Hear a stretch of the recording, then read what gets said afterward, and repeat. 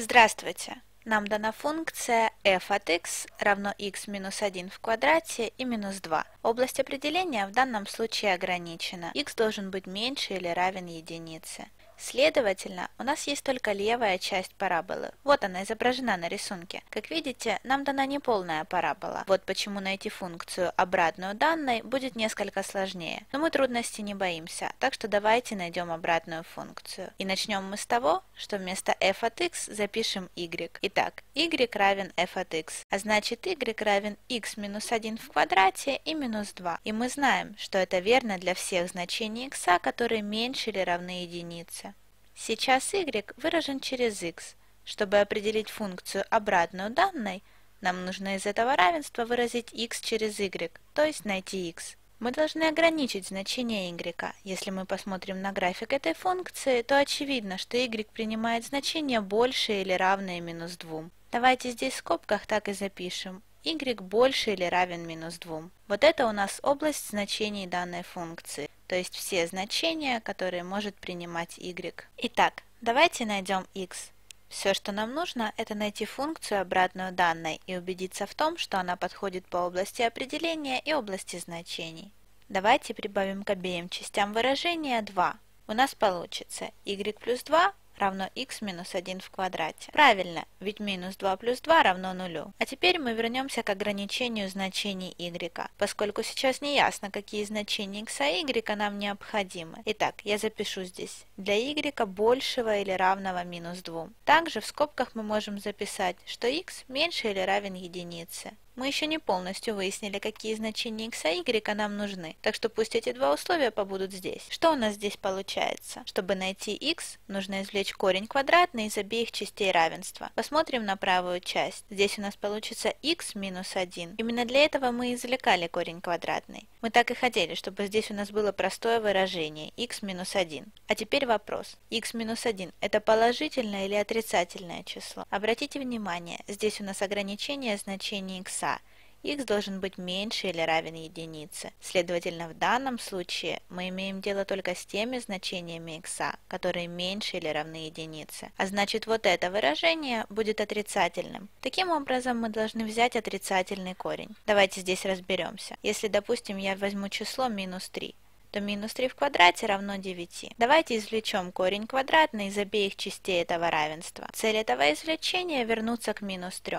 Значит, если мы возьмем положительный корень квадратный, то у нас получится 3 равно 3. Но нам нужно вернуться к минус 3. Нам нужно получить отрицательный квадратный корень. Теперь вернемся к нашей функции. Здесь у нас выражение отрицательное, следовательно мы должны вернуться к этому выражению, то есть к x минус 1. Итак, нам надо извлечь отрицательный квадратный корень из обеих частей равенства. Каждый квадрат имеет два корня, положительный и отрицательный. Но в данном случае нам нужен отрицательный корень, так как вот это выражение вот здесь у нас отрицательное. Итак, давайте извлечем отрицательный корень квадратный из обеих частей равенства. Мы получим отрицательный корень квадратный из y плюс 2 равно а здесь я сделаю дополнительный шаг, чтобы вы все поняли, и запишу. Равно отрицательному корню квадратному из x минус 1 в квадрате. Для y больше или равного минус 2 и x меньшего или равного единице. Вот почему мы извлекали отрицательный корень квадратный. Далее мы переписываем левую часть без изменений. Отрицательный корень квадратный из y плюс 2. А в правой части вместо отрицательного корня квадратного из x минус 1 в квадрате мы записываем просто x минус 1. Выражение x минус 1 в квадрате имеет какое-то положительное значение. Отрицательный корень квадратный из этого выражения является отрицательным числом, которое нужно возвести в квадрат.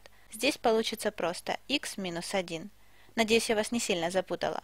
Из этого квадрата нам надо получить отрицательное, а не положительное значение, поэтому мы записываем x минус 1, поскольку значение этого выражения отрицательное.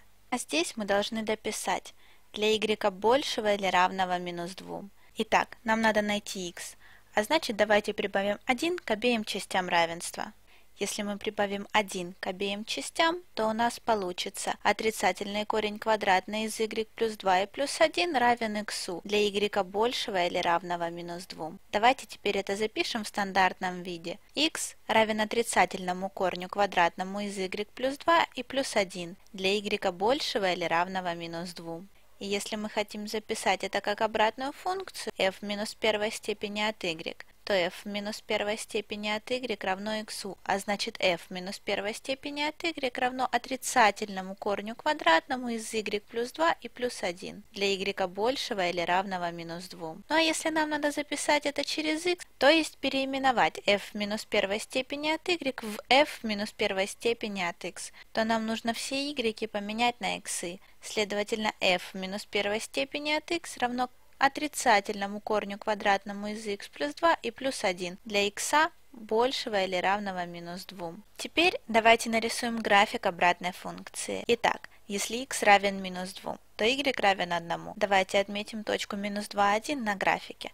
Вот она, точка с координатами минус 2, 1. Если мы возьмем x равный минус 1, то здесь y будет равен 0. Значит, отмечаем точку минус 1, 0. Предположим, x равен 2, тогда 2 плюс 2 равно 4, а корень из 4 равен 2. Следовательно, минус 2 плюс 1 равно минус 1. Итак, вот точка с координатами 2, минус 1. Значит, график обратной функции будет выглядеть, ну, как-то так. И как видите, этот график точное отображение нашей функции f от x относительно прямой y равен x. То есть мы как бы поменяли x и y местами. Таким образом, мы разобрали сложный пример с ограничением области определения. Сложность здесь была в том, чтобы выяснить, какой корень квадратный нам необходим, положительный или отрицательный. Так как в нашем случае выражение под корнем должно было быть отрицательным, то мы извлекали отрицательный корень из обеих частей равенства. Надеюсь, вы во всем разобрались. До скорой встречи!